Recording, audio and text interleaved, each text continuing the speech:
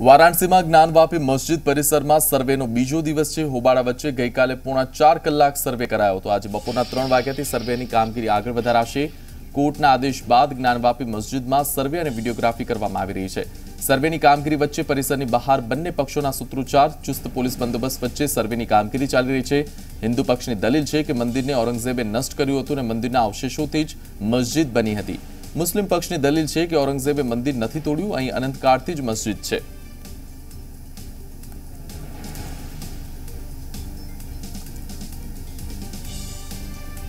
તો વારાણસીમાં મંદિર મસ્જિદનો આ વિવાદ છે અને સર્વેની કામગીરી ચાલી રહી છે હિન્દુ પક્ષનો શું દાવો છે જણાવીએ તો મંદિરને ઔરંગઝેબે નષ્ટ કર્યું હોવાનો દાવો કર્યો છે હિન્દુ પક્ષે મંદિરના અવશેષોથી જ મસ્જિદ બની હોવાનો દાવો હિન્દુ પક્ષ કરી રહ્યો છે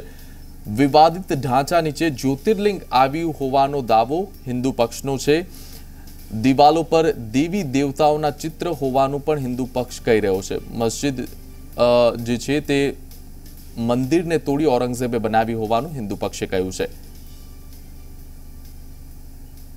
તો મુસ્લિમ પક્ષના દાવા વિશે પણ આપને જણાવી દઈએ. તો મુસ્લિમ પક્ષે શું દાવો કર્યો છે? જે આ વારાણસીની મસ્જિદ છે, તે મસ્જિદમાં મુસ્લિમ પક્ષનો દાવો છે કે ઔરંગઝેબે કોઈ જ મંદિર નથી તોડ્યું. અહીં અનંતકાળથી જ મસ્જિદ આવેલી છે. મંદિર તોડીને ઔરંગઝેબે મસ્જિદ બનાવી હોવાનો દાવો પોકળ છે તેવું મુસ્લિમ પક્ષનું કહેવું છે. ક્યારે મંદિર નહોતું તેવું મુસ્લિમ પક્ષ કહી રહ્યો છે. મસ્જિદમાં કોઈ દેવી દેવતાના ચિત્ર ન હોવાની વાત પર પણ રદિયો આપ્યો છે અને કોઈ પણ ચિત્ર ન હોવાનું કહ્યું છે.